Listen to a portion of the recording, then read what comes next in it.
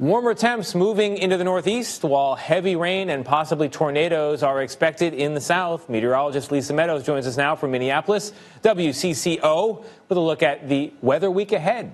Hey, Lisa.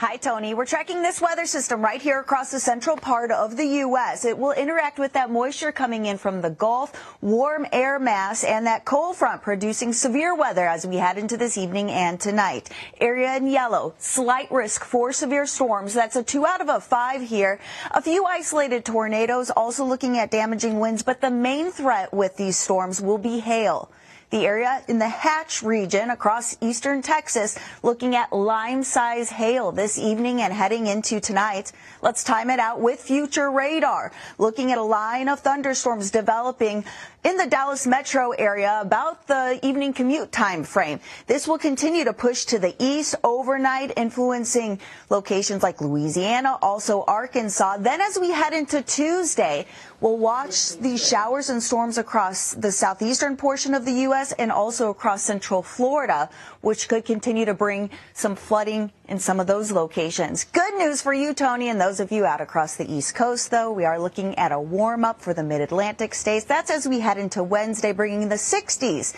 to round out the end of the week. And no lime sized hail. Think about those people in the Dallas area. Lisa, thank you very much.